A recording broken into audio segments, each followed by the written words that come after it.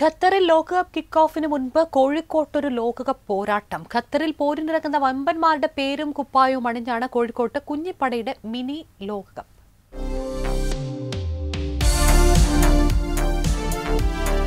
High school ക്ലാസുകൾ വരെയുള്ള കുട്ടിത്താരങ്ങളാണ് ഈ ടൂർണമെന്റിൽ ബൂട്ടുകെട്ടുന്നത് ലോകകപ്പിന്റെ മാതൃകയിൽ ടൂർണമെന്റ് സംഘടിപ്പിച്ചത് ലയോള സ്കൂൾ അണിനിരുന്നത് എട്ട് ടീമുകൾ. എല്ലാം ഖത്തറിൽ കളിക്കുന്ന മുൻനിര ടീമുകളുടെ പേരിൽ.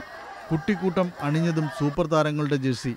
ലോകകപ്പ് ആവേശം സ്കൂൾ മൈതാനത്ത് നിറച്ച് കുട്ടികളുടെ മുന്നേറ്റം.